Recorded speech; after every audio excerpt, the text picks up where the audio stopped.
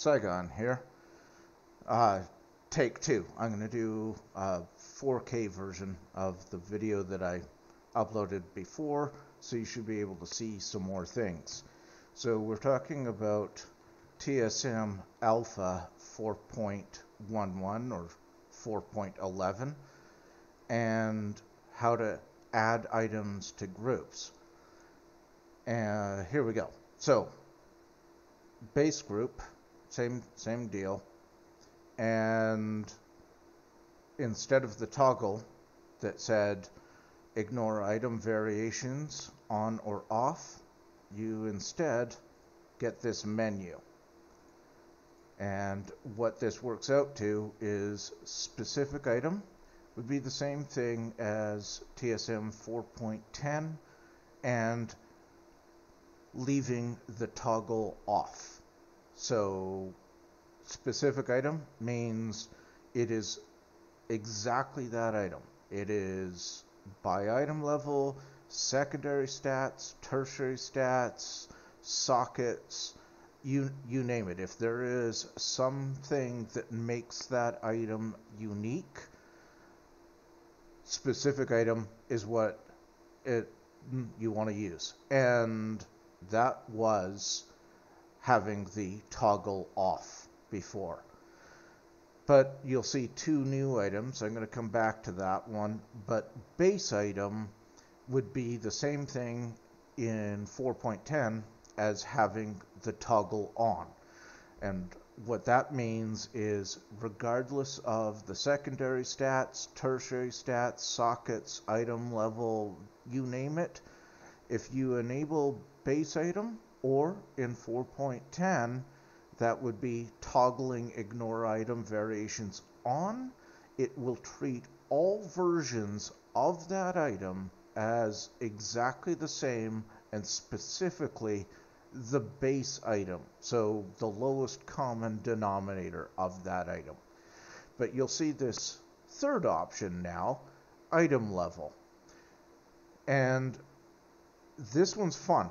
So you can add any item, including battle pets, BOEs, etc., etc., that have item levels to them, ignoring all other secondary, tertiary sockets.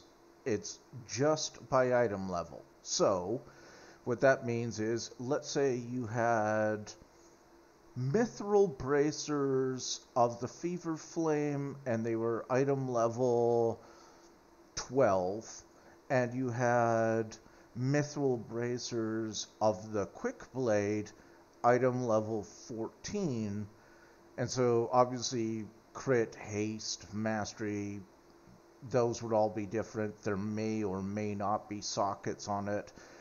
So if you were going to add by item level it ignores the quick flame and the or the fever flame and the quick blade. It ignores the crit, the haste, mastery, and all the secondary stats like speed and uh, the other ones. I whatever, and it also ignores any sockets. So in those in that case, you have an item level 12 and an item level 14 you would add them to your groups as mithril bracers item level 12 and mithril bracers item level 14. Boom, bam. Now, if you want to pull in items from Wowhead, you can just search a base item. So, uh, how about the one that's popping up? Gleaming claymore. So specific item. If I mouse over this one, uh, da, da, da, da, um, it shows that, uh, well, this one's kind of a bad example, but because uh, there's no real differences, but um, you know the the uh, cuffs item level 39, 39, but there are different crit, crit haste, crit haste. Um, let's see. Yeah, one six, the other one six. Okay, so there's something about those bad examples, but that would do the the thing. So if I go to base item, you'll notice the list got a lot shorter. So the gleaming cl- uh, um, moth and go back. So the gleaming claymore, but I've added them to groups. So if you're searching base group and nothing shows up, it means that they've been added to groups. So if I wanted to add these to the existing group, it would specifically be these versions of the I but I don't want to do that uh, when I'm building my groups. So I'm going to do by item level and they disappeared because all versions that my TSM has seen uh, have already been added. But let's say I want to uh, add some more things. So I've got this group in progress, leather, as you can see. There is nothing in this group already. And I'm building a Mist of Pandaria, BOEs, leather, and I've built this, the slots, and of course the parent group is empty, and so all of these are empty. Now, what I could do is uh, let's see, let's show you.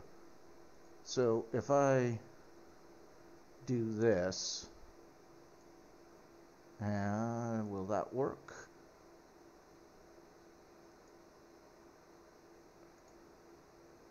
Will it show you? Yes, it will show you. So I have filtered on Wowhead leather, uh, not bound for mm, pickup, Mist of Pandaria. Um, they're not crafted. They're not sold by vendors. So these are all drops and found items and rare. And these are all the, the leather pieces. But these are the base items. Uh, and you can go and select by uh, slot type. Now, I haven't done that here because there are only 18 results.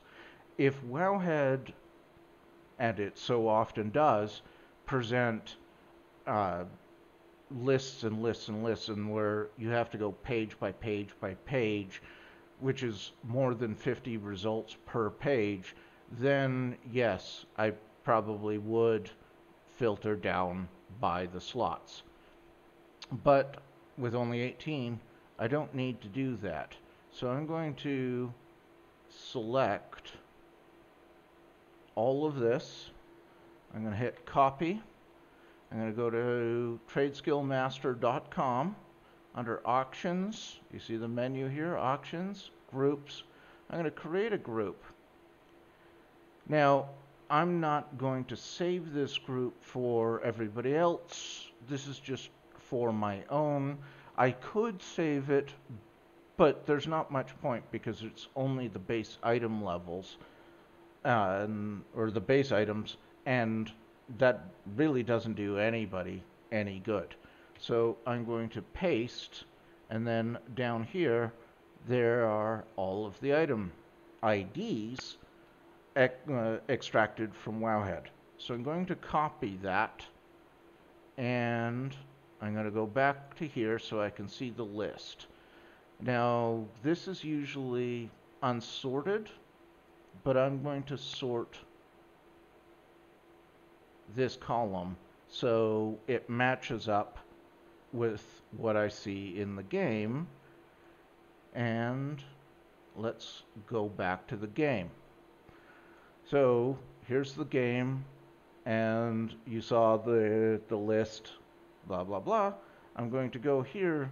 I'm going to import this group of item IDs.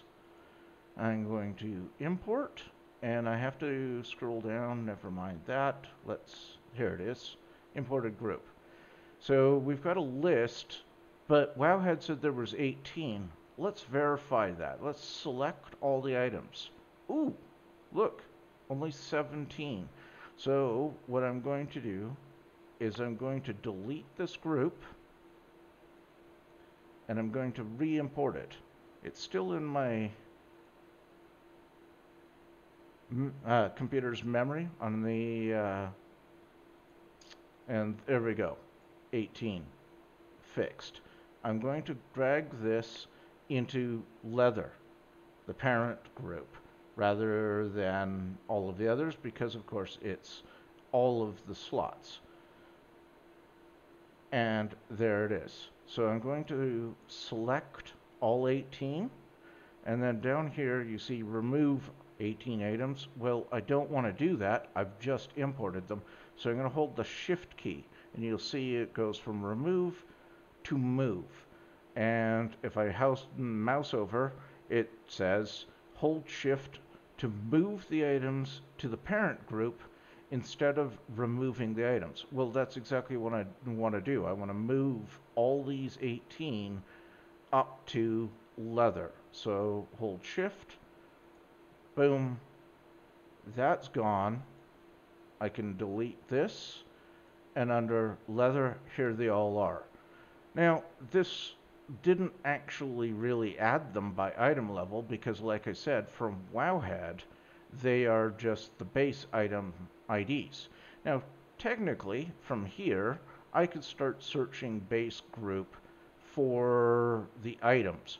But I like to do an extra step because what you find in base items is what your specific TSM has seen.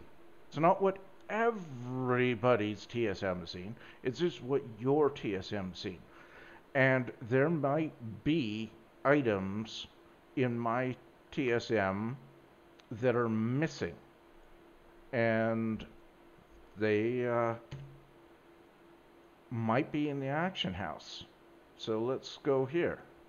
Let's open up the auction house. I'm going to hit browse here. And it, it doesn't really matter which one I select because I have to search just the, mm, the leather group, the parent group, because that's where all the item IDs are.